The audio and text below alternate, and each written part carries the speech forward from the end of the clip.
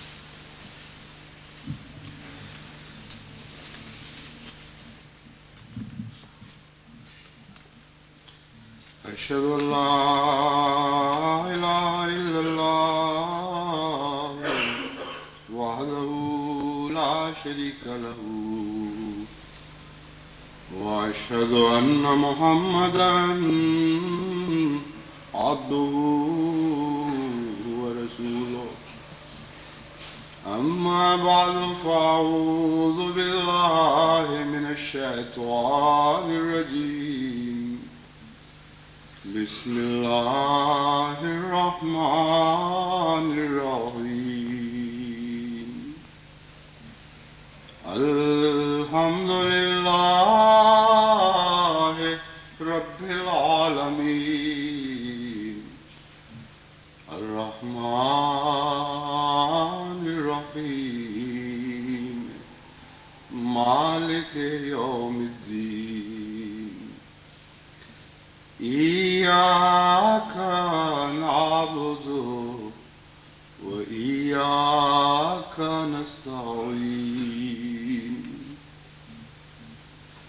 اهدنا الصراط المستقيم.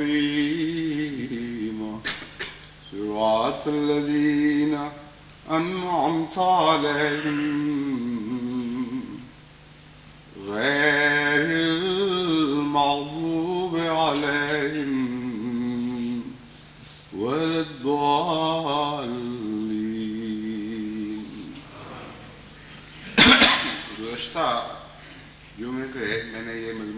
کیا تھا کہ جب بھی کوئی مسلمان سیلاب کی غیر معمولی تباہ کاریاں دیکھتا ہے، تو اس کا ذہن طوفان نوح کی طرف منتقل ہو جاتا ہے۔ اور یہ مضمون عموماً آپ کو اخباروں میں دکھائی دیں گے کہ یہ خدا کا عذاب ہے، جس سے بچنے کے لیے ہمیں کچھ کرنا چاہیے۔ ایک احمدی مسلمان کا ذہن صرف ہزاروں سال پہلے کے حضرت نو کے واقعہ ہی کی طرف منتقل نہیں ہوتا، بلکہ حضرت مسیح موج علیہ السلاۃ والسلام کی کتاب کشتی نو کی طرف بھی منتقل ہوتا ہے، جس سے پتہ چلتا ہے کہ اس زمانے کے سیلابوں کی تباہ کاریوں سے بچانے کے لیے حضرت مسیح موج علیہ السلاۃ والسلام کو اللہ تعالیٰ کی طرف سے ایک کشتی عطا کی گئی۔ اس کے ساتھ ہی میں نے یہ ذکر کیا تھا کہ کشتی نو کے مطالعہ سے پتہ چلتا ہے کہ جن سیلابوں کی تباہ کاریوں کا اس زمانے کے تعلق میں ذکر ہے، وہ در حقیقت گناہوں کے سیلاب ہیں اور معاشی کے طوفان ہیں۔ جب بدعملی زور پکڑتی ہے اور موجیں مارتی ہے، تو ہر قسم کے جرائم دنیا میں اچھلنے لگتے ہیں اور ان کے نتیجے میں قومیں غرق ہو جاتی ہیں۔ بعد میں انسان کی تباہی خواہ کچھ لمبا وقت لے یا تھوڑا وقت لے، وہ ایک منطقی نتیجے کے طور پر ظاہر ہوتی ہے۔ حضرت مسیح محدود علیہ السلاۃ والسلام کو جو روحانی معنوں میں نو کا لقب عطا فرمایا گیا وہ حضرت اقدس محمد مصطفیٰ صلی اللہ علیہ وآلہ وسلم کی نسبت سے سمجھا جا سکتا ہے۔ اگرچہ حضرت نو کے طوفان کے متعلق بھی یہی کہا جاتا ہے کہ ساری دنیا غرق ہو گئی تھی، مگر جہاں تک انسانی تحقیق کا تعلق ہے، نہ یہ بات کریم قیاس ہے، نہ تاریخی اور سائنسی شواہد سے ثابت ہے، نہ عقل اس کو تسلیم کر سکتی ہے کہ ایک بارش کے نتیجے میں تمام دنیا کے بڑے بڑے خطے غرق ہو چکے ہوں اور کسی جگہ کوئی پناہ گاہ باقی نہ رہے۔ زمین کا اونچ نیچ، اس کا طول و عرض، اس کے نقشے کی کیفیت، یہ ساری چیزیں اس تصور کو رد کرتی ہیں۔ لیکن اس کے باوجود یہ قطعی طور پر درست ہے کہ وہ دنیا جس دنیا کی طرف حضرت نو معمور فرمائے گئے تھے۔ اور ہو سکتا ہے اس وقت انسانی آبادی وہیں تک سمٹی ہو۔ اس پہلو کو ہرگز عقلاً یا سائنس کے نقطۂ نگاہ سے رد نہیں کیا جا سکتا۔ کہ انسانی معاشرے کی ترقی یافتہ صورت انہی علاقوں میں بستی ہو جن علاقوں میں حضرت نو خدا کا پیغام لے کر آئے اور چونکہ وہ انسانوں کی ترقی یافتہ صورت تھی اور وہ ایک ایسی تہذیب تھی جو تمام دنیا کے انسانوں کی نمائندگی کر رہی تھی۔ اس لیے ان کی غرقابی کو سب دنیا کی غرقابی قرار دیا گیا۔ وہ امتوں کے بیچ تھے۔ وہ ایسے لوگ تھے جن سے آئندہ تہذیبی امتیں قائم ہونی تھی۔ ان معنوں میں ان کو خدا تعالیٰ نے تمام دنیا کے نمائندے کے طور پر جب غرق فرمایا تو نقشہ ایسا کھینچا گویا سب دنیا غرق ہو گئی۔ لیکن جہاں تک قرآن کریم کی آیات کا تعلق ہے، واضح طور پر کسی جگہ بھی یہ نہیں فرمایا گیا کہ تمام دنیا غرق ہو گئی۔ بائبل کی کہانیوں میں تو آپ کو یہ ملے گا۔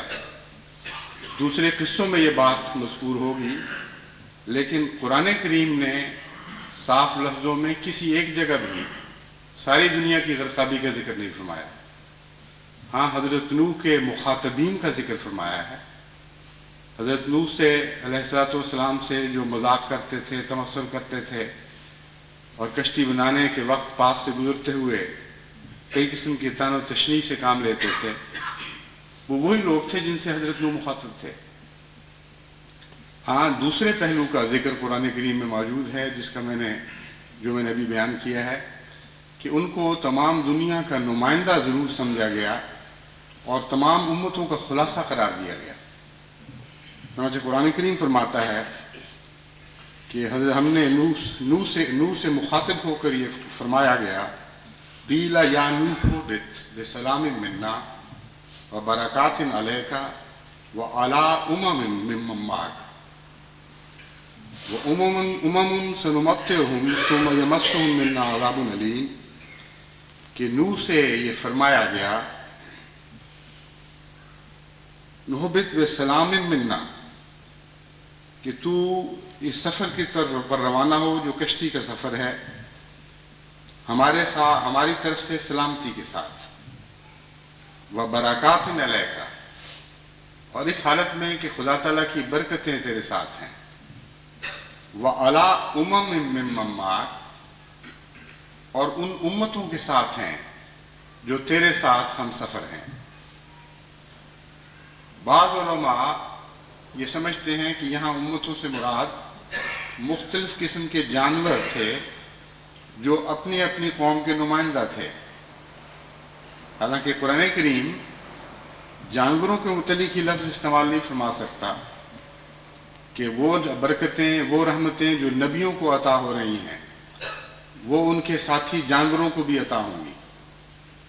ایک محض لغو تصور ہے جس کو نعوذ باللہ قرآن کریم کی طرف منسوخ کیا جاتا ہے۔ پھر اس سے اسی آیت کا اگلا ٹکڑا اس بات کو خوب کھول رہا ہے کہ امتوں سے کون مراد ہیں فرمایا و امم سنمت ہوں ثم یمسهم منا عذاب العلیم اور ایسی امتیں بھی ہیں جو کشتی میں سوار ہیں، لیکن ہم ان کو فائدے سے محروم تو نہیں رکھیں گے۔ ہاں کچھ فائدے کے بعد ان کی بعد میں پیدا ہونے والی بدامالیوں کے نتیجے میں ان کو دردناک عذاب میں مبتلا کریں گے۔ تو جانوروں کے متعلق تو خدا تعالیٰ کی یہ، خدا تعالیٰ کی یہ تقدیر نہیں ہے کہ کچھ فائدہ پہنچانے کے بعد جانوروں کی نسلوں کو عذاب میں مبتلا کیا جائے، آخر کیوں کیا جائے؟ وہ تو مکلف نہیں ہے شریعت کے۔ اس لیے اس آیت کے اس آخری حصے نے اس مضمون کو خوب کھول دیا۔ کہ حضرت ابراہیم علیہ السلاۃ والسلام کے ساتھ سوار لوگ تمام دنیا کی امتوں کے نمائندہ تھے اور ان سے ان کے اندر وہ بیج موجود تھا جس سے امتیں پیدا ہوتی ہیں۔ اس پہلو سے وہ دنیا غرق کی گئی۔ یعنی تمام دنیا گویا ڈوب گئی جب خدا تعالیٰ نے اس بیج کو محفوظ کر کے باقی سب لوگوں کو جو ان کو مٹانے کے درپے تھے ان کو ہلاک کر دیا۔ اس نقطۂ نگاہ کو سمجھنا ایک احمدی کے لیے بہت ہی ضروری ہے۔ جیسا کہ میں نے کہا تھا، حضرت اقدس محمد مصطفیٰ صلی اللہ علیہ وآلہ وسلم کے حوالے سے کشتی لو کی سمجھ آئے گی۔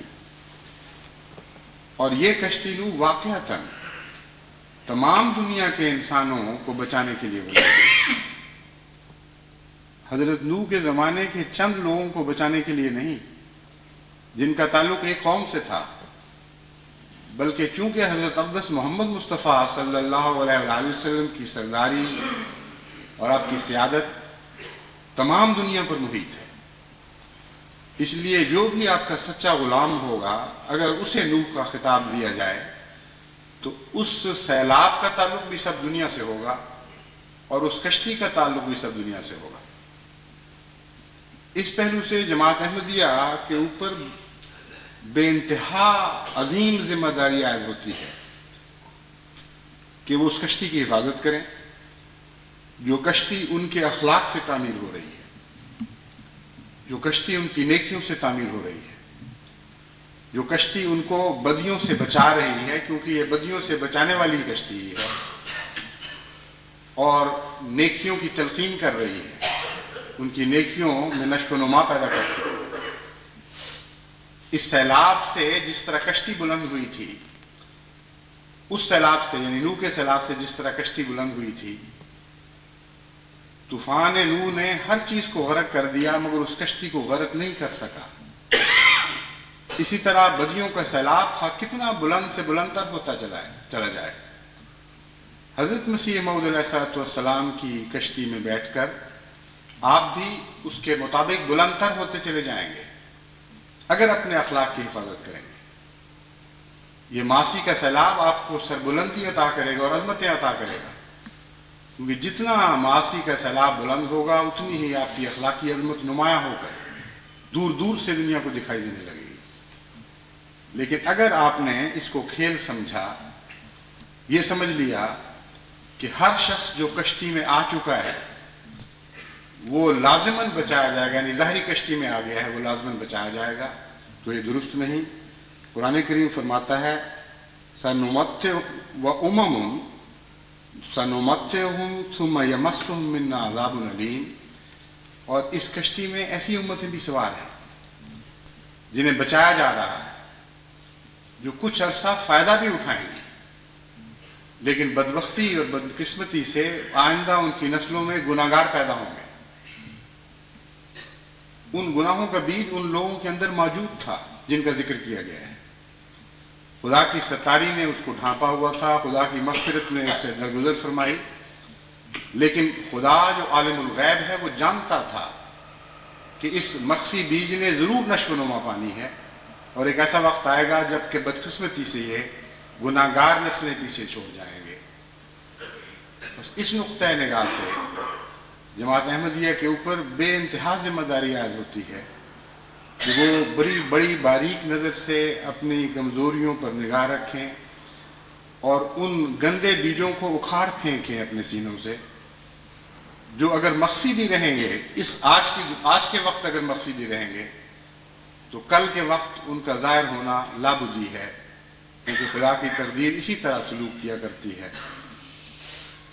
بعض پردہ پوشیاں بعض نیک لوگوں کی برکتوں کے نتیجے میں حاصل ہوتی ہے۔ ان برکتوں سے لوگ حصہ پاتے ہیں، اس لیے ان کے برائیوں سے بھی درگزر فرمائی جاتی ہے۔ لیکن پھر ایسے زمانے آتے ہیں جبکہ وہ پردے اٹھا لیے جاتے ہیں۔ اس لیے اس مضمون کو خوب اچھی طرح ذہن نشین کر کے اپنے حالات کا جائزہ لیں۔ میں بار بار جماعت کو متوجہ کرتا رہا ہوں اور اب بھی کر رہا ہوں کہ ہم جس نئی صدی میں داخل ہونے والے ہیں اس صدی میں داخل ہونے سے پہلے ہمیں اپنے آپ کو صاف اور ستھرا کرنا چاہیے۔ اگلی صدی کے لیے اس رنگ میں تیاری کرنی چاہیے کہ ایک سو سال آئندہ ایک یعنی آئندہ ایک سو سال جو کچھ بھی دنیا میں ہوگا، بدی اور نیکی کی جنگ میں جو کچھ بھی رونما ہوگا، اس کے اس کا فیصلہ کرنے والے ایک پہلو سے ہم ہیں۔ ہم نے آئندہ صدی میں کچھ بچے بھیجنے ہیں، کچھ نسلیں بھیجنی ہیں۔ اگر ہم نے ان کی تربیت اچھی کر دی، ان کی حفاظت کے سامان کیے، ان کو خدا تعالیٰ کی شریعت کی کشتی میں سوار کیا اور صاف اور ستھرا کر کے اور سجا کے اگلی صدی میں بھیجا، تو ان کا فیض اور ان کی برکتیں مدتوں تک جاری رہیں گی۔ ایک صدی کا عرصہ ایک بہت لمبا عرصہ ہوا کرتا ہے۔ بعض پہلوؤں سے کچھ بھی نہیں۔ آنند فانن گزر جاتا ہے، مگر بعض نقطۂ بعض پہلوؤں سے اس کو بہت بڑی اہمیت حاصل ہے۔ قوموں کا عروج ایک صدی کے اندر قائم رہتا ہوا دکھائی دیتا ہے، اور محسوس نہیں ہوتا کہ قومیں تنزل اختیار کر گئی ہیں لیکن امر واقعہ یہ ہے کہ ایک سو سال کا عرصہ اس پہلو سے اتنا لمبا ہے کہ قوموں کے عروج کے بعد ان کے زوال کے آثار ایک سو سال کے اندر لازمن شروع ہو جائے کرتے ہیں اسی لیے حضرت عبدس محمد مصطفیٰ صلی اللہ علیہ وآلہ وسلم کو اللہ تعالیٰ نے یہ خوشخبری عطا فرمائی کہ ہر صدی کے سر پر خدا ایسے لوگوں کو مبوس فرمائے گا جو تیری امت میں دین کی تجدید کریں گے اور احیاء کریں گے۔ یہ ایک ایسا نظام ہے جس کا جاری ہونا لازمی تھا۔ جس طرح لمبی نہروں کے لمبی نہروں میں آپ دیکھتے ہیں کہ اس خطرے سے کہ رفتہ رفتہ پانی کی رفتار سست نہ ہو جائے اور وہ اس زرخیز مٹی کو جسے اٹھائے لیے پھرتا ہے، اسے گرا کر خود اپنی راہ کو تنگ نہ کر دے۔ ٹھوکریں پیدا کی جاتی ہیں اور مصنوعی آبشاریں بنائی جاتی ہیں۔ وہ ابشاریں اس رفتار کو ایک دفعہ پھر تیز کر دیتے ہیں۔ اور اس طرح پانی کی زندگی کا عمل جاری رہتا ہے۔ روحانی لحاظ سے یہی مضمون ہے جو تجدید دین کا حضرت عبدس محمد مصطفیٰ صلی اللہ علیہ وآلہ وسلم پر روشن فرمایا گیا۔ اور اس مضمون کے پیش نظر آپ سے تجدید دین کا وعدہ فرمایا گیا۔ جب تک خلافت جاری ہے، میرا یہ ایمان ہے کہ جو خلیفہ بھی اس اہم موقع پر ہوگا یعنی دو صدیوں کے سنگم پر، اللہ تعالیٰ اسی سے تجدید دین کا کام لے گا۔ مجدد کہنا ضروری نہیں، نہ خلیفہ کو مجدد کہنے سے خلیفہ کی شان بڑھتی ہے۔ تجدید ایک خدمت ہے اور ہر خلیفہ اسی خدمت پر معمول رہتا ہے۔ لیکن زمانے کے اثرات کے نتیجے میں بعض اہم مواقع پر یہ خدمت ایک خاص رنگ اختیار کر جاتی ہے اور بعض اہم اقدامات کرنے پڑتے ہیں جن کے نتیجے میں وہ کمزوریاں جو رفتہ رفتہ پیدا ہوتے ہوتے بعض دفعہ نظر سے اوجل ہو جاتی ہیں، دب جاتی ہیں، بعض نئے بد رجحان پیدا ہونے شروع ہو جاتے ہیں، ان پر نظر رکھتے ہوئے اس کو بعض اقدامات کرنے پڑتے ہیں۔ اس لیے اس ذمہ داری کو جہاں تک خدا تعالیٰ مجھے توفیق عطا فرماتا ہے، میں ادا کرنے کی کوشش کرتا ہوں۔ اور اسی سلسلے میں یہ میں نے دوبارہ نصیحتوں کا سلسلہ شروع کیا ہے۔ جو بدیاں آج کل معاشرے میں پھیل رہی ہیں، وہی ہیں جو احمدیوں میں بھی راہ پاتی ہیں۔ بدیاں اس کے علاوہ احمدیوں سے تو نہیں پھوٹتی۔ کیونکہ اللہ تعالیٰ کے فضل سے احمدیوں کی اتنی اصلاح بنیادی طور پر ہو چکی ہے کہ وہ نئی پید بدیوں کے ایجاد کرنے والے نہیں۔ لیکن جو دنیا بدیاں ایجاد کرتی ہے، جو برائیاں معاشرے میں اور ماحول میں پھیلتی ہیں، یہ کہنا کہ احمدی اس سے متاثر نہیں ہو سکتی بالکل غلط بات ہے۔ بعض دفعہ کشتی میں سوراخ بھی ہو جایا کرتے ہیں۔ بعض دفعہ اگر لہریں اتنا اچھلتی ہیں طوفان کی کہ باہر سے کشتی کے اندر پانی داخل ہونا شروع ہوتا ہے۔ اس لیے سب ملاحوں نے ساتھ کچھ ایسے برتن رکھے ہوتے ہیں جن سے وہ بار بار پانی نکالتے رہتے ہیں۔ اور آج کل کی جدید کشتیاں بھی اس سے مستثنا نہیں ہیں۔ اگر وہ اس ذمہ داری سے غافل ہو جائیں تو جدید سے جدید محفوظ سے محفوظ کشتی بھی غرق ہو سکتی ہے۔ اس لیے بیرونی بدلیوں بدلیوں کا کناروں سے اچھل کر جماعت میں داخل ہونا ایک نظام قدرت ہے جس سے انکار نہیں کیا جا سکتا۔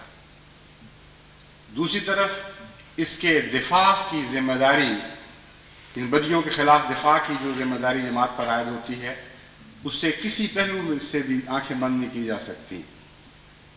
اور یہ ایک جاری سلسلہ ہے زندگی اور موت کی جد و جہد کا۔ جسے خوب اچھی طرح سمجھ کر ہماری جماعت کو زندگی کی حفاظت کے تمام اقدامات کرنے پڑیں گے۔ جو چند برائیاں خصوصیت کے ساتھ میرے پیش نظر ہیں، جن کے خلاف جماعت کو بار بار توجہ دلانے کی ضرورت ہے اور بار بار نظام جماعت کو ان کے متعلق بیدار مغزی کے ساتھ اقدامات کرنے کی ضرورت ہے، ان میں ایک مالی بے راہ روی بھی ہے۔ بدیانتی اتنی بڑھ گئی ہے دنیا میں کہ جو دنیا کی انتہائی ترقی یافتہ قومیں ہیں، وہ بھی دن بدن بدیانت سے بدیانت تر ہوتی چلی جا رہی ہیں۔ پہلے یہ تصور تھا کہ بدیانتی غریب ملکوں کی بیماری ہے۔ بھوکا آدمی کیا کرے گا اگر وہ چوری نہیں کرے گا تو؟ کیسے زندہ رہے گا؟ اور جس کی ادنا ضرورتیں بھی پوری نہیں ہوتی اگر وہ معاشرے میں اعلیٰ معیار کی زندگی کو دیکھتے ہیں اور سکھ والے لوگوں کو عیش و عشرت کی زندگی بسر کرتے ہوئے دیکھتے ہیں، تو ان کے دل میں یہ خیال پیدا ہو جاتا ہے کہ ہم زندگی کی ادنا ضرورتوں سے بھی محروم ہیں، ہم کیوں نہ جس طرح بھی بس چلے ان کی دولت میں حصے دار ہوں۔ یہ ایک جسٹیفیکیشن یعنی وجہ جواز پیش کی جاتی ہے۔ غریب ملکوں کی بدیوں کی۔ امر واقعہ یہ ہے کہ بدیوں کی کوئی بھی وجہ جواز نہیں ہے۔ اگر کوئی وجہ جواز بدیوں کی ہو، تو ایسی بدیاں امیر ملکوں میں نہیں ہونی چاہیے۔ لیکن یہ جو تناسب ہے ہیو اور ہیو ناٹس کا، جن کے پاس ہے اور جن کے پاس نہیں ہے، ان لوگوں کا تناسب یہ جہاں جہاں بھی سوسائٹی میں موجود ہے، یہ رد عمل دکھاتا ہے۔ اور اس کے نتیجے میں لوٹ، گھسوٹ، دوسرے کی دولت پر نظر رکھنا اور ان عیش و عشرت کے سامانوں کے حصول کی کوشش کرنا جو سوسائٹی کے ایک طبقے کو حاصل ہیں اور ایک کو نہیں ہیں، یہ ایک طبی عمل ہے۔ اس لیے یہاں تک بھی اس کو ہم سمجھ سکتے ہیں۔ کہ اس کی بھی ایک وجہ جواز موجود ہے۔ تو کیا پھر اشتراکی دنیا میں یہ بدیاں نہیں ہیں؟ کیا وہاں یہ وہاں یہ رجحان نہیں بڑھ رہا؟ جہاں سب کو ایک ہی اصول کے مطابق دولت کی تقسیم کی جاتی ہے۔ جہاں یہ کوشش کی جاتی ہے کہ کوئی ایک دوسرے سے اتنا اچھا نہ ہو کہ اس کے نتیجے میں دلوں میں حرص پیدا ہو، کیا وہاں ایسی بدیاں نہیں؟ میں چونکہ قرآن کریم کی تعلیم سے یہ سمجھتا سمجھا سمجھتا ہوں کہ دولت کی برابر تقسیم ہر بدیوں کو روکنے کا کوئی حل نہیں ہے۔ اس لیے اس مضمون میں مجھے ہمیشہ دلچسپی رہی۔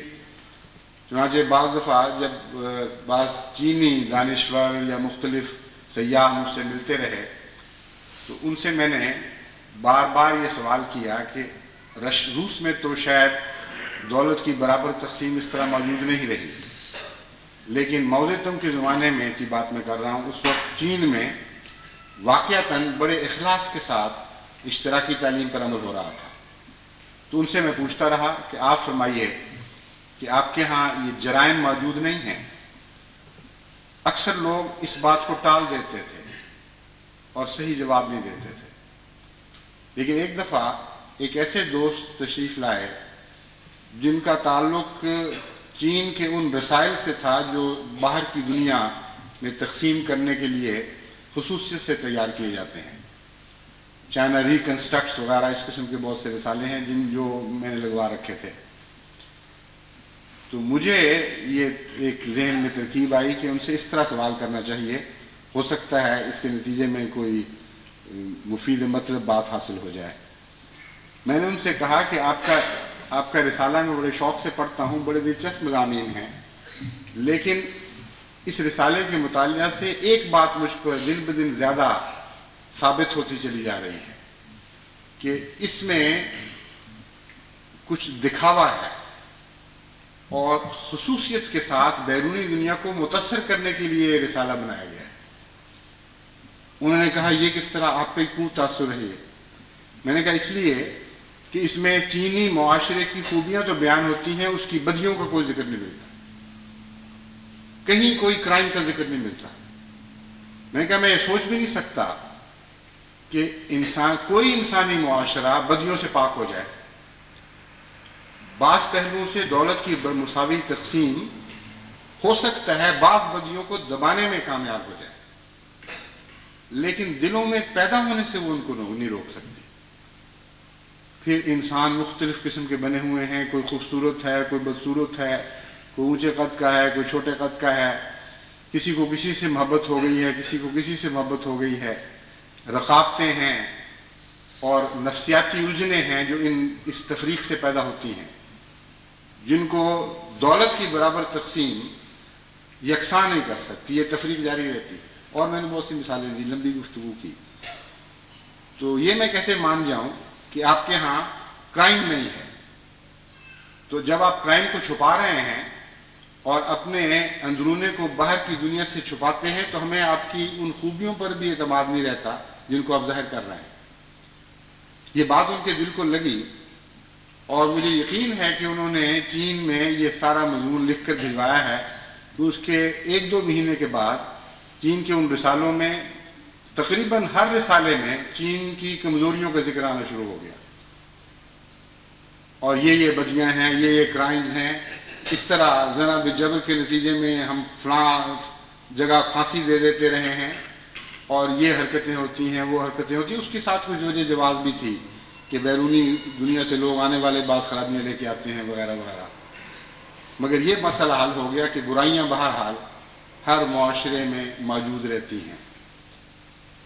ان برائیوں سے جن سے دنیا کا کوئی حصہ بھی خالی نہیں ہے۔ ان برائیوں سے نپٹنے کے لیے جماعت احمدیہ کو پیدا کیا گیا ہے۔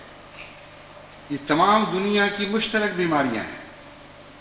کہیں کچھ کم ہیں، کیونکہ جگہ جو اونچی ہو نسبتاً وہاں سیلاب کا پانی کم اثر دکھاتا ہے۔ لیکن قرآن کریم نے جب یہ فرمایا کہ زہر الفساد و فی البر والبحر تو اس سے یہ مراد تھی کہ حضرت محمد مصطفیٰ صلی اللہ علیہ وسلم کے زمانے کا فساد جسے دور کرنے کے لیے امت مسلمہ کو پیدا کیا گیا۔ اس فساد سے کوئی دنیا کا خطہ نہیں بچ سکے گا۔ اونچی جگہ ہو یا نیچی جگہ ہو، خشکی ہو یا تری ہو، ہر جگہ تمہیں یہ فساد نظر آئے گا۔ اس لیے اتنی بڑی ذمہ داری جس جماعت کے کندھوں پر ڈالی گئی ہو، وہ اپنے اندر سے فساد کو صاف نہ کرے اس سے بڑی ہلاکت کی بات اور کوئی نہیں ہو سکتی۔ اس لیے آپ کو بڑی گہری نظر سے اپنے نفوس کا مطالعہ کرنا پڑے گا۔ اپنے نفوس کو باقاعدہ جھاڑو دینا پڑے گا۔ اور اس کام سے آپ فارغ کبھی بھی نہیں ہو سکتے۔ آپ اپنے کمروں کی صفائی کر کے دیکھ لیں، چھوٹی سی جگہ ہوا کرتی ہے۔ چند دن میں پھر گند پڑ جاتا ہے۔ بڑا نظم و ضبط کے ساتھ چیزوں کو رکھیں۔ اور سجائیں اور کتابیں بھی بالکل سلیقے کے ساتھ لگا دیں، کچھ دیر کے بعد پھر سب کچھ درم برم ہو جاتا ہے۔ تو یہ ہو نہیں سکتا کہ آپ مستقل جد و جہد کے بغیر زندہ رہ سکیں۔ بس جماعت احمدیہ میں بھی بدیاں صاف کر دینا کافی نہیں ہے۔ یہ شعور پیدا کرنا ضروری ہے کہ آپ کو ہم وقت بدیوں کے خلاف جہاد کرنا پڑے۔ گا اپنے نفوس میں بدیوں کے خلاف جہاد کرنا پڑے گا، اپنے گھروں میں بدیوں کے خلاف جہاد کرنا پڑے گا، اپنی گلیوں میں، اپنے شہروں میں، اپنے ملکوں میں۔ غرضی کے جہاں جہاں جماعت احمدیہ موجود ہے، اس کو اس جہاد کا علم بلند کرنا ہے اور بلند رکھنا ہے۔ اور سوتے ہونے سو جانے والے لوگوں کو جگاتے رہنا ہے۔ یہ کام ہے جو ہماری ذمہ داری ہے۔ اس پہلو سے جو میں نے ویسے ابھی بیان کیا تھا، جو برائیاں خاص طور پر میرے پیش نظر ہیں، ان میں ایک مالی بے راہ روی ہے۔ امیر ملکوں میں بھی مالی بے راہ روی ہے، غریب ملکوں میں بھی ہے، اشتراکی ملکوں میں بھی ہے۔ جہاں بظاہر اس کے کوئی وجہ جواز نظر نہیں آتی، لیکن ہے۔ اور اب تو خاص طور پر روس کھل کر ان چیزوں کو بیان کرنے لگ گیا ہے۔ پہلے چین نے شروع کیا تھا، اب روس نے بھی اوپننیس کے تصور میں کہ ہر چیز کھلی ہونی چاہیے، چھپانے کی کوئی بات نہیں یعنی چھپانے کی کوئی ضرورت نہیں۔ اس سے بدیاں گہرے اندر دھستی ہیں اور اور زیادہ جگ پکڑتی ہیں۔ بہرحال کوئی بھی وجہ ہو، روس میں اب یہ پالیسی ہے کہ بات کو کھولنا چاہیے۔ اور پتہ چلتا ہے کہ وہاں بعض صوبائی حکومتیں اتنی کرپٹ ہو چکی ہیں، اتنی بدیانت ہو چکی ہیں کہ یہ سوال روس روس میں بالا سطح پر بار بار اٹھایا جا رہا ہے کہ قومی لڑائی کرنی پڑے گی ان بدیوں کے خلاف، ایسے اقدامات کرنے پڑیں گے جس کے نتیجے میں بڑے بڑے علاقے متاثر ہوں گے اور بعض اقدامات انہوں نے کیے بھی ہیں، لیکن خود ماسکو بھی اس سے مستثنا نہیں ہے۔ روس کے وہ حکام جو تجارت کے تعلقات کی خاطر بیرونی دنیا کا سفر کرتے ہیں۔ ان سے جب لوگوں کے رابطے ہوتے ہیں، بعض ان میں سے مجھے بھی باتیں بتاتے ہیں۔ اور وہ یہی بتاتے ہیں کہ وہ رشوت مانگتے ہیں۔ جب تک ان کا حصہ مقرر نہ کیا جائے، اس وقت تک وہ تجارتی روابط پر سواب نہیں کرتے اپنے دستخط نہیں کریں گے۔ باتیں حکومتوں نے طے بھی کر دی ہوں تو وہ بہانہ بنائیں گے۔ اور صاف کہہ دیتے ہیں کہ بھئی تم سے ہمارا سودا نہیں ہوگا جب تک اتنے روپے سوئٹزرلینڈ میں یا فلان جگہ جمع نہ کرا دو۔ تو مالی بے روی کا تو یہ حال ہے کہ بڑی بڑی اشتراکی حکومتیں بھی اپنے ارادوں میں مخلص ہونے کے باوجود ان سے لڑائی میں ناکام ہو چکی ہیں اور ہوتی چلی جا رہی ہیں۔ تو یہ یہ ذمہ داری بھی غریب جماعت احمدیہ پر ہے کہ وہ مالی لحاظ سے نمونہ بنے لیکن چونکہ ہر احمدی جو اپنے تجربے میں کسی سے تکلیف اٹھاتا ہے، مجھے خط لکھ دیتا ہے، خواہ، اس غرض سے نہ لکھے کہ میں اس کا کوئی مداوع کروں، اس کو پیسے واپس دلواؤں، وہ اپنی بے تکلیف کا اظہار کر کے دعا کی درخواست کر دیتا ہے۔ اس لیے یوں لگتا ہے کہ ساری جماعت ایک آئینہ خانے میں بیٹھی ہوئی ہے، ہر جگہ سے اس کی تصویریں مختلف خطوں میں یہاں تک پہنچتی رہتی ہیں اور ابھرتی رہتی ہیں۔ کوئی حصہ دنیا کا نظر سے چھپا ہوا نہیں ہے۔ اور اس وجہ سے مجھے نظر آ رہا ہوتا ہے کہ اب کیا چیز دوبارہ توجہ کی محتاج ہے اور توجہ کی مستحق ہے۔ اور جب کچھ چیزیں اکٹھی ہو جاتی ہیں، پھر ان کی طرف توجہ کرنی پڑتی ہے۔ ورنہ تو یہ مضمون ایسا ہے کہ ہر خطبے میں بھی بیان کیا جائے تو اس کا حق ادا نہیں ہو سکتا۔ مگر اور بھی ذمہ داریاں ہیں۔ تو مالی پہلو سے مجھے یہ اطلاعیں ملتی ہیں۔ کہ لین دین کے معاملے میں ابھی تک احمدیوں کا معیار توقع سے گرا ہوا ہے اور بعض جگہ اتنا گرا ہوا ہے کہ بال ارادہ دھوکہ دینے والے بھی احمدیت کے اندر موجود ہیں۔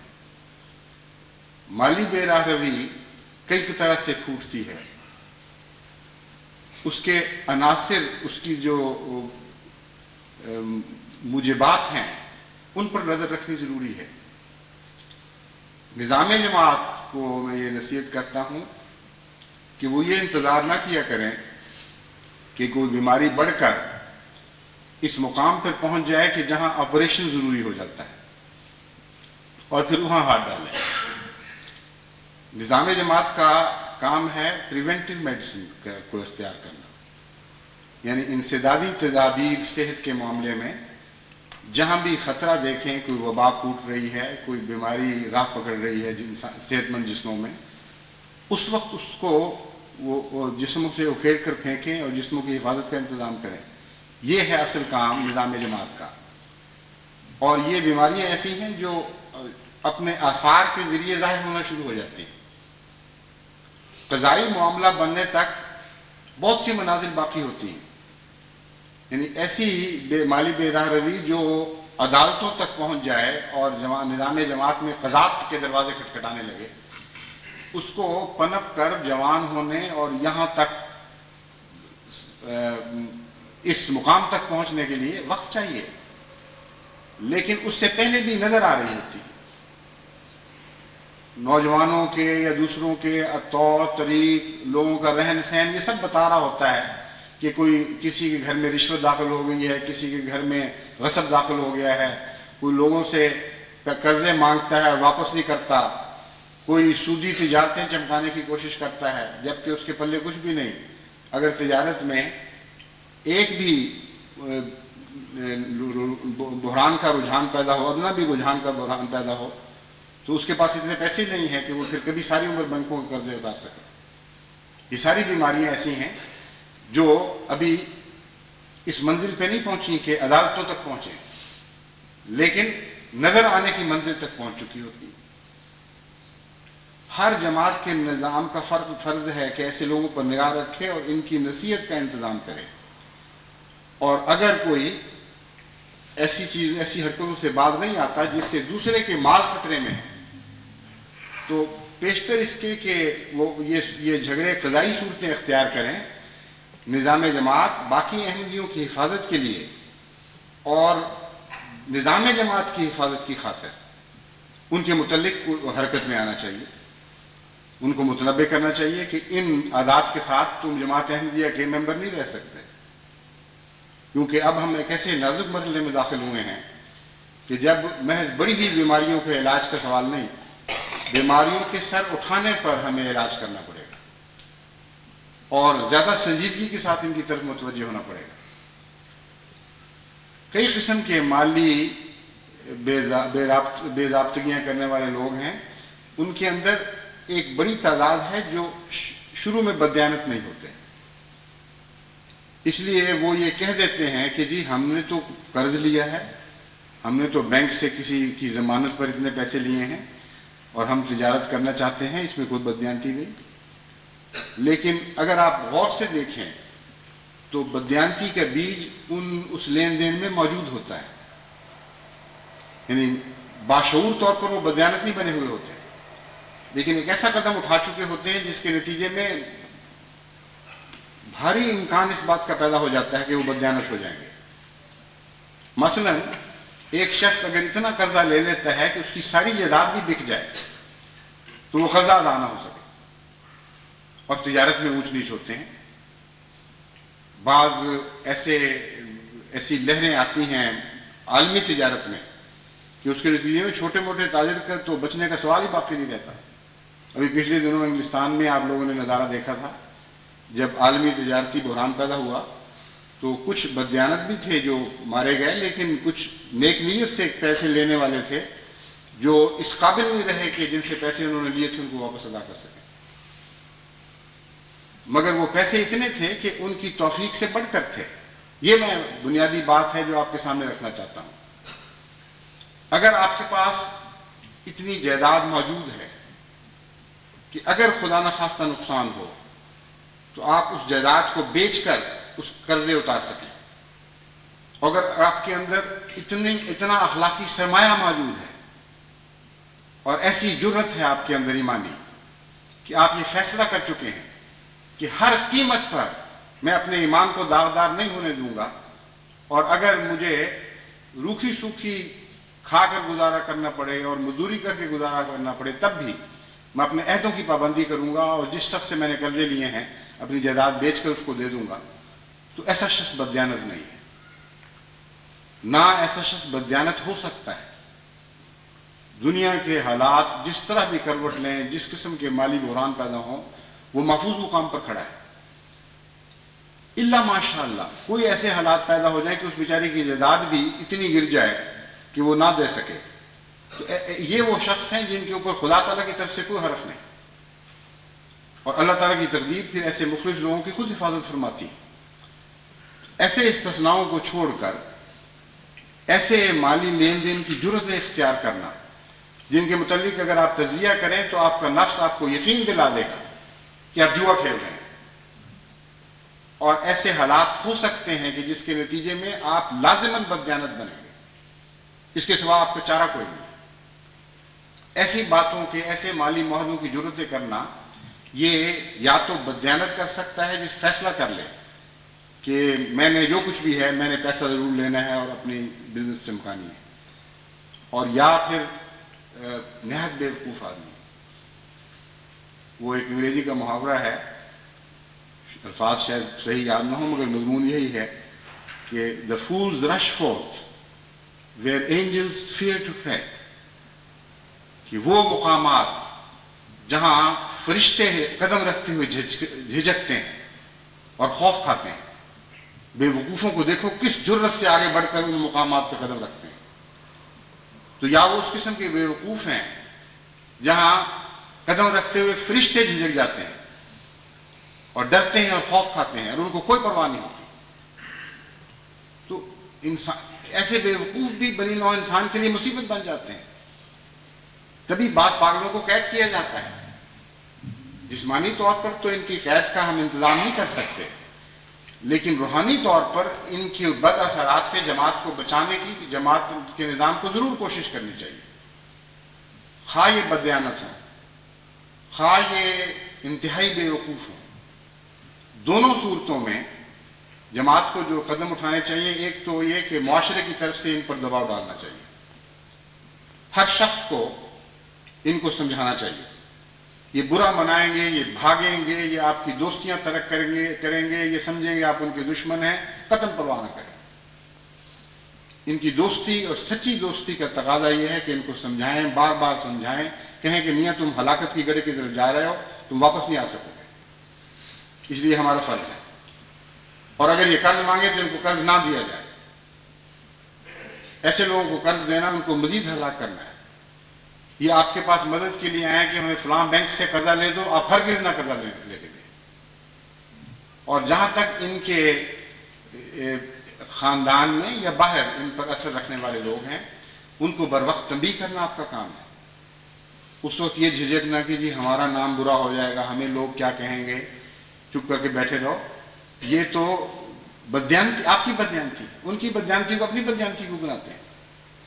ایک اور بدیانت بن رہا ہے شخص، اور آپ بیٹھے بٹھائے مفت میں خود بدیانت بن جاتے ہیں، کیونکہ آپ کی بدیانتی نظام جماعت سے بدیانتی ہے۔ آپ کی بدیانتی انسانیت، انسانی قدروں سے بدیانتی ہے۔ ان ذمہ داریوں سے بدیانتی ہے، جو جماعت احمدیہ پر ڈالی گئی ہے۔ اس لیے ہر احمدی کا بھی فرض ہے، صرف نظام جماعت کا فرض نہیں ہے کہ ان چیزوں کے خلاف خوب نگران بن جائے، باریک نظر سے اپنے ماحول کا مطالعہ کرتے رہے۔ جہاں دیکھے کہ کوئی فتنہ پیدا ہو رہا ہے، وہاں اس کو، اس کی بیش کرنے کا انتظام کرے، بیشتر اس کے وہ فتنہ پیدا ہو جائے۔ اس لیے پریونٹیو میڈیسن دنیا کا بہترین طریق ہے، بہترین ایک دفاع ہے برائیوں کے خلاف۔ یعنی پیشتر اس کی کہ برائیاں جڑ پکڑیں، آپ نگران ہوں کہ وہ برائیاں جڑ نہ پکڑ سکیں، ان کو وہاں صاف کر دیا کریں۔ مالی لحاظ سے میرے نزدیک بہت ہی زیادہ بیدار مغزی کے ساتھ، ہمت کے ساتھ، مستقل مزاجی کے ساتھ کام کی ضرورت ہے۔ اگر کوئی ایسا شخص نظام جماعت کے علم میں آتا ہے جو نصیحت کے باوجود اپنی حرکتوں سے باز نہیں آتا، تو ایک اس کا علاج یہ ہو سکتا ہے کہ مجھ سے پوچھ کر نظام جمع تمام احباب جماعت کو مطلع کر دیا جائے کہ یہ صاحب اگر آپ سے قرض مانگتے ہیں یا قرض لینے میں آپ سے مدد مانگتے ہیں، تو اگر آپ نے ایسا کیا تو آپ خود ذمہ دار ہیں۔ اور نظام جماعت پھر ذمہ دار نہیں ہوگا۔ اور اس وارننگ کے بعد، اس تنبیہ کے بعد قضاء میں بھی آپ کا کوئی مقدمہ نہیں سنا جائے گا۔ اس قسم کا ایک شخص ایک دفعہ ایک دن بار بار نکلتے رہتے ہیں، لیکن ایک شخص ایسا تھا جس کی اطلاع آنی شروع ہوئی۔ کبھی وہ سنگاپور میں سے نکالتا تھا، کبھی ملیشیا میں ظاہر ہوتا تھا، کبھی انڈونیشیا سے اس کی خبر آتی تھی۔ وہ پھر رہا ہے اور لوگوں سے پیسے مانگ رہا ہے اور کہانیاں بتا رہا ہے کہ میں اس طرح نکلا تھا، اس طرح مجھے ضرورت پیش پیش آ گئی۔ جماعت کا پتہ لے کے میں حاضر ہوا ہوں، ایک بیچارے مسافر کی مدد کرو۔ اور پیسے کھاتا چلا گیا۔ جب مجھے ایک جماعت سے اطلاع ملی، اسی وقت میں نے ساری دنیا کی جماعتوں کو نوٹس دیا۔ کہ اس قسم کے آدمی جاتے ہیں۔ آپ یہ سوچتے ہیں کہ وہ یہ تو بھائی کا اخلاقی فرض ہے۔ ایک مسافر کی ذمہ داری قرآن کریم میں بھی بیان فرمائی گئی ہے۔ زکوٰۃ کے مقاصد میں اس کو رکھا گیا ہے۔ اس لیے نیکی کی خاطر اس کی مدد کی جائے۔ لیکن یہ نہیں سوچتے کہ قرآن کریم نے یہ فرمایا ہے کہ مسافر کی مدد فرماؤ جو مصائب کا شکار ہو گیا ہو۔ یہ نہیں فرمایا کہ دھوکے باز کی مدد فرماؤ اور دھوکے باز کے دھوکے میں آ جائے۔ گا مومن تو خدا کے نور سے دیکھتا ہے۔ اتقو فراست المومن فَإِنَّهُ يَرَا بِنُورِ اللَّهِ یہ اللہ تعالیٰ نے حضرت صلی اللہ علیہ وسلم کو بتایا، تب آپ نے ہمیں یہ خبر دی۔ کیونکہ اپنی طرف سے آپ یہ کلام نہیں فرمایا کرتے تھے۔ تو خدا کے نزدیک تو مومن کا یہ مقام اور مرتبہ ہے کہ وہ خدا کے نور سے دیکھتا ہے اور دھوکہ نہیں کھاتا۔ یخادعون اللہ یخادعون اللہ والذین آمنوا وما یخدعون الا انفسهم۔ کوشش کرتے ہیں لوگ خدا اور خدا والوں کو دھوکہ دینے کی، لیکن نتیجہ یہ نکلتا ہے کہ وہ اتنے ہوشیار ہوتے ہیں مومن اللہ کے بندے کہ ان کے دھوکوں کو الٹا دیتے ہیں۔ اور وہ لوگ بالآخر خود دھوکہ پانے والے ثابت ہوتے ہیں۔ دھوکہ کھانے والے ثابت ہوتے ہیں۔ بس اس مضمون کو سمجھتے ہوئے میں نے جماعت کو متنبع کیا کہ آپ کا، آپ کو اگر یہ شک ہے کہ شاید وہ مصیبت زدہ ہے، تو آپ فوری طور پر مجھ سے رابطہ کریں۔ یا ربا تحریک جدید سے رابطہ کریں۔ نظام جماعت کا یہی تو فائدہ ہے یعنی یہ یہی تو نہیں کہنا چاہیے۔ فوائد میں سے ایک یہ بھی فائدہ ہے کہ ساری دنیا کی خبروں اور اور قابل اعتماد خبروں کا ایک نظام مہیا ہو چکا ہے۔ آپ مجھے لکھ دیں، مجھ سے فون پہ بات کر لیں، کہیں کس طرح ایک مصیبت زدہ ہے۔ کئی لوگوں کو میں جانتا ہوں خود، اور میں آپ کو اسی وقت بتا دوں گا کہ یہ صاحب ایسے نہیں ہیں، یہ دھوکہ دے رہے ہیں، یا اگر مصیبت زدہ ہیں تو اس حد تک مدد کر دی جائے وہ تو کوئی ایسی بات نہیں ہے۔ لیکن جب میں نے یہ اقدام کیے تو اللہ تعالیٰ کے فضل سے امن آ گیا، وہ شخص پھر جہاں جہاں بھی گیا ہے وہاں سے یہی رپورٹ ملی کہ جماعت نے رد کر دیا اس کو۔ بالکل ناکام ہو کے اس کو واپس جانا پڑا۔ جو نقصان کر بیٹھا تھا وہ کر بیٹھا تھا۔ بس اس قسم کی بیدار مغزی کی نہ صرف ضرورت ہے، بلکہ نظام جماعت کو بعض موقعوں پر ایسے اقدامات کرنے پڑیں لیکن اقدامات کرنے سے پہلے نصیحت کا پورا حق ادا کر دیں۔ میں یہ آپ کو سمجھانا چاہتا ہوں۔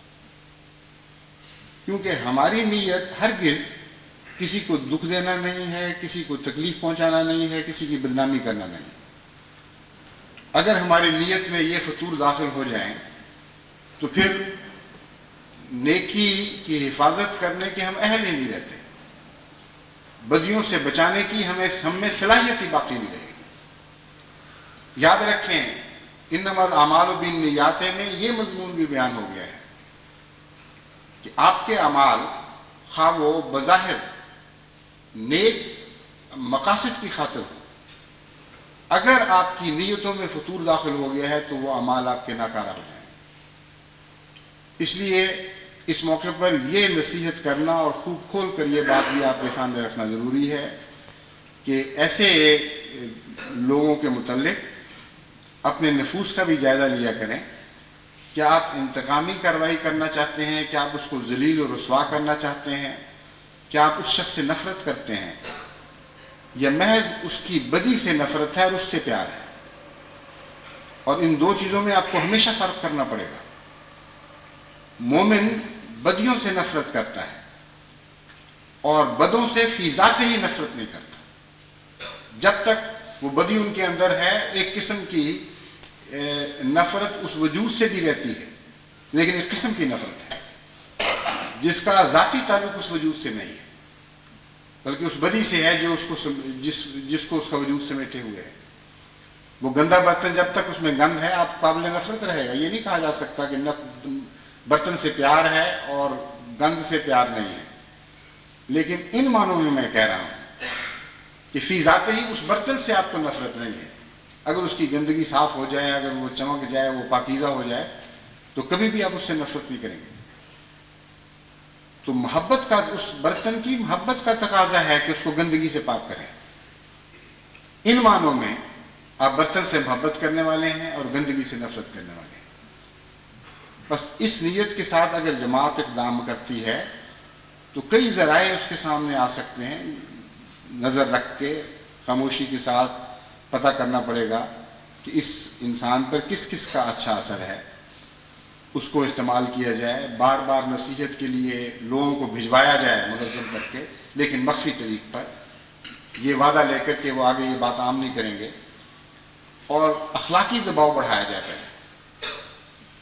جب اخلاقی دباؤ ایک مقام تک پہنچ جائے اور اس کے باوجود اس شخص کے اندر تبدیلی واقعہ نہ ہو، تو پھر دوسرا قدم وہ ہے جو میں نے بیان کیا ہے کہ اس کے متعلق پھر لازمن حت المقدور اخفاء کے ساتھ، مگر یہ اخفاء پھر رہ نہیں سکتا زیادہ دیر۔ احمدیوں کو ضرور بتانا پڑے گا کہ ان صاحب کے لین دین کے متعلق قطعی شواہد یہ ہیں کہ درست نہیں ہے۔ اس لیے ہم آپ کو یہ نہیں حکمن منع کر سکتے کہ آپ ان کو کچھ نہ دیں۔ آپ ان کی مدد نہ کریں، ہرگز نہیں۔ یہ انفرادی معاملات ہیں جن میں نظام جماعت کو دخل دینے کا حق نہیں۔ لیکن ہم آپ کو یہ ضرور کہہ سکتے کہ آپ ان سے بچیں اور اگر آپ اس کے باوجود ان سے لین دین کرتے ہیں تو اس احسان کے فیصلے کے ساتھ کریں کہ پھر جو کچھ آپ کا روپیہ ضائع ہوگا، اس پہ آپ شکایت نہیں کریں گے۔ تعلقات کی مختلف صورتیں ہوتی ہیں، بعض لوگ اس نیت سے قرض دیتے ہیں کہ ٹھیک ہے آنا بھی واپس نہیں آئے گا تو ہم نے مڑ کے نہیں پوچھنا۔ اس نیت سے بے شک مدد کرو، اس سے آپ کو روکنا نہیں چاہیے۔ احسان سے روکنا کوئی اسلام کی تعلیم میں تو شامل نہیں۔ ہے بلکہ اس کے منافی ہے ہاں عدل کو قائم کرنا ضروری ہے۔ اس لیے آپ عدل کے قیام تک رہیں اور احسان سے نہ روکیں، یہ ہے مضمون جس کو وضاحت سے سمجھ جائیں۔ پھر آپ ان کو یہ مطلع مطلع کر دیں کہ ہم نے کیونکہ عدل کے تقاضے پورے کر دیے ہیں، پھر اگر آپ نے احسان کیا تو آپ کو پھر عدل کا دروازہ کٹانے کا کوئی حق نہیں رہتا۔ اور یہ عدل کا اعلیٰ مضمون ہے۔ اس میں کوئی نا انصافی نہیں ہے۔ نظام جماعت نے عدل کے تقاضے پورے کیے۔ آپ نے ان کو مد نظر رکھ کر احسان کا سلوک کیا۔ اور احسان کا سلوک آپ کا ایک ایسی جگہ ہو گیا جو احسان نہ فراموش تھا۔ پھر احسان جب فراموش بھی کر دیے جاتے ہیں، تو احسان کو عدل کا دروازہ کھٹکھٹانے کا حق نہیں ہوا کرتا۔ جو آپ نے چیز تحفہ دے دی، وہ تحفہ ہو گیا، بس پھر بات ختم۔ اس کو تھوک کر آپ چاٹ نہیں سکتے۔ تو ایسے قرضے بھی ہوتے ہیں جن میں تحفے کی نیت شامل ہوتی ہے۔ بعض دفعہ نظام جماعت کی طرف سے بعض لوگوں کی ضرورتیں پوری کرنی پڑتی ہیں۔ ان وہ مجھے لکھتے ہیں کہ ہم یہ قرض ادا کر دیں گے۔ یہ میں جانتا ہوں کہ ان کی حالت ایسی کمزور ہے کہ وہ قرض ادا نہیں کر سکتے۔ یا جتنی دیر کے اندر کرنا چاہتے ہیں، لیکن ساتھ یہ بھی جانتا ہوں کہ نیک لوگ ہیں، سادہ ہیں، بدنیتی نہیں ہے تو بعض دفعہ جب خدا توفیق دیتا ہے ان کا ان کا قرضہ ادا دیتے وقت میں یہ ہدایت کر دیتا ہوں بیت المال کو کہ ان سے آپ نے مطالبہ نہیں کرنا۔ اگر خدا توفیق دے دے تو یہ واپس کر دیں گے، اگر نہ دے تو میں نے اس نیت سے دلوایا ہے کہ ان کی مدد صحیح۔ تو ایسے بھی لوگ ہوتے ہیں، آپ ایسا کریں بے شک۔ لیکن یاد رکھیں کہ بعض ٹیڑھی طبیعتوں والوں کی اگر آپ مدد بھی کریں گے تو آپ کسی نہ کسی نقصان کا ضرور مجھے بن جاتا ہے یہ فیصلہ آپ کا کام ہے، لیکن اس باریک نظر سے آپ کو دیکھنا ہوگا کہ اگر ایسے شخص کی آپ مدد کرتے ہیں جو بار بار آپ بھی ڈوبتا ہے اور دوسروں کو بھی لے کے ڈوبتا ہے، بار بار ایسی تجارتوں پہ پیسہ لگاتا ہے جس ان کو سنبھالنے کا وہ اہل نہیں ہے۔ تو آپ جب اس کو پاؤں پہ کھڑا کرتے ہیں تو اس کے ساتھ کچھ اور لوگوں کے پیسوں کی غرقابی کا بھی آپ انتظام کر رہے ہوتے ہیں۔ ایسی صورت میں مدد اس رنگ میں ہونی چاہیے کہ اس کی شریفانہ زندگی اور گزارے کی کوئی صورت پیدا ہو جائے۔ لیکن اس کے اختیار میں نہ ہو کہ وہ مزید اپنا یا غیروں کا نقصان کر سکے۔ بہرحال مگر یہ تو احسان کا مضمون ہے۔ جماعت احمدیہ پھر بری ذمہ ہو جائے گی۔ اس کے بعد تیسرا قدم وہ ہے کہ اگر ان باتوں کے باوجود کوئی شخص نہیں سمجھتا اور ایسے اقدامات کرتا ہے جس سے وہ بھی برباد ہو، اس کا خاندان بھی برباد ہو، جماعت پر دا لگنے شروع ہوں، تو پھر وہ آپریشن کا مقام ہے، اس وقت جماعت کے نظام کو اس بات سے نہیں جھجکنا چاہیے کہ ایسے لوگوں کے متعلق وہ یہ سفارش کرے کہ ان کے متعلق یہ اعلان ضروری ہو گیا ہے کہ ان کا جماعت احمدیہ سے کوئی تعلق نہیں۔ اس وقت چونکہ صرف اسی مضمون کو میں تھوڑے اس وقت میں بیان کر سکا ہوں، اس لیے ان شاء اللہ تعالیٰ باقی جو چند ایک معاشرتی خرابیاں میرے ذہن میں ہیں، وہ انشاءاللہ آئندہ خطبے میں بیان کروں گا۔